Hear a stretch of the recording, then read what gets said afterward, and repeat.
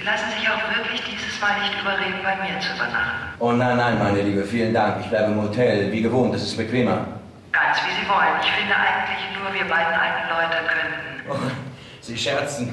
Ja, natürlich.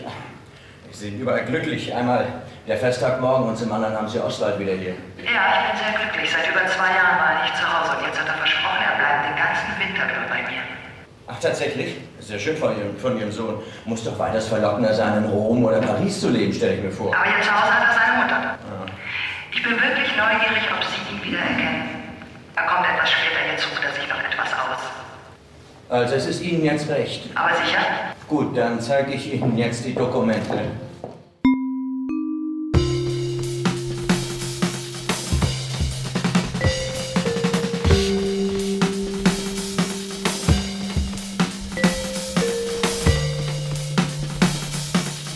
Wann gibt's was zu essen, Mutter? Na, knapp eine halbe Stunde Appetit hast du ja, Gott sei Dank, mein lieber, lieber Junge. Ja, und der Tabak schmeckt ihm auch. Ja, das sind Vaters Zigaretten, ich hab sie gefunden. Das ist es. Was? Oswald mit der Zigarette im Mund. Das ist, als sähe ich seinen Vater, wie er lag und lebt.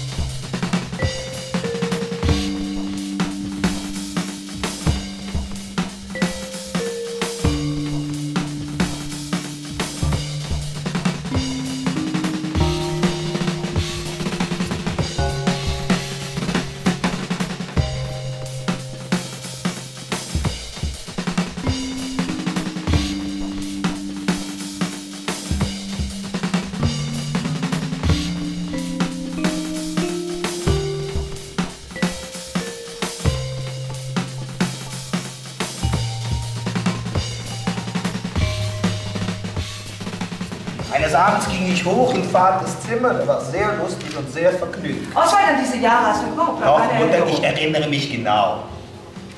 Er nahm mich auf den Schoß und ließ mich seine Zigarette rauchen. Rauch, Junge, sagte er, rauch tüchtig. Und ich rauchte, was ich konnte, bis mir ganz schlecht wurde und mir der Schweiß in großen Tropfen auf der Stirn stand.